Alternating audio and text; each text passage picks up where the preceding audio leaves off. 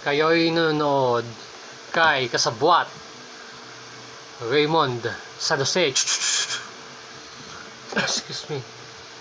Ayun. Ang segment natin ngayon ay alamat. Pero syempre ah, ah, shout out sa lahat ng mga viewers, subscribers, followers. Thank you. At sa mga OFW, saan man sulok ng mundo. Ayun. At sa mga OFW sa iba't ibang planeta, thank you. Uh, God bless you all. Mga buhay na bayani.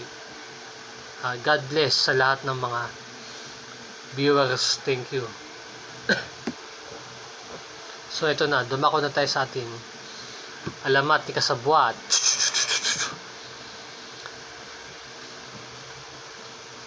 Ang ating alamat ngayon ay alamat ng kalamay. So, saan ba nagmula yung alamat ng kalamay? So, ito na ang kwento na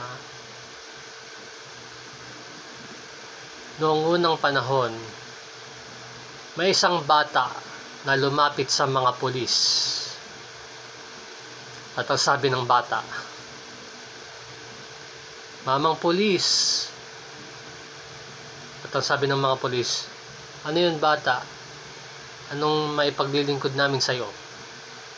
At ang sabi ng bata, ako po ang nawawala niyong kalamay.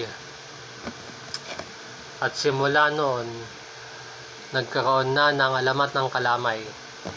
Ayan, yan ang magandang kwento natin. yan ang magandang kwento natin ngayon.